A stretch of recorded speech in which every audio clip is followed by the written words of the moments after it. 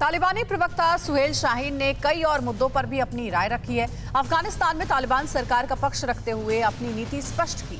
इसके साथ ही सुहेल शाहीन ने कश्मीर और उइगर मुसलमान के मुद्दे पर भी तालिबानी नज़रिया स्पष्ट किया। इस रिपोर्ट में आपको दिखाते हैं। तालिबान दुनिया भर से अच्छे रिश्ते चाहता है। पूरी दुनिया के सामने वो अपनी पॉजिटिव इमेज पेश करने में लगा है। एक बार फिर उसने शांति, सहयोग और विकास पर ज़ोर दिया है।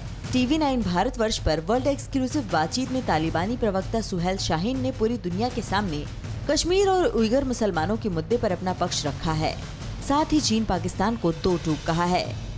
सुहेल शाहीन ने कहा कि कश्मीर को लेकर तालिबान की नीति साफ़ है। कश्मीर पर तालिबान पाकिस्तान का साथ कभी नहीं देगा। इसके साथ ही उइगर मुसलमानों के मुद्दे पर अपना पक्ष रखते हुए सुहेल शाहीन ने कहा उइगर का मसला चीन का अंदरूनी मामला है। उइगर को भी अपना हक मिलना चाहिए।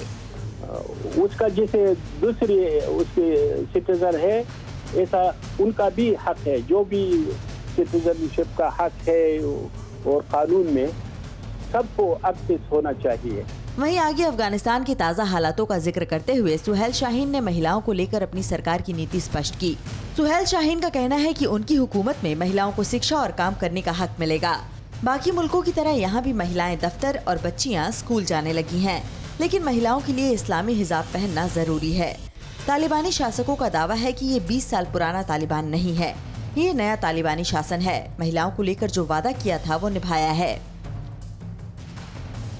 अड़ी, सोमवार से शुक्रवार, शाम छह बजे, सिर्फ़ टीवी नाइन भारतवर्ष पर।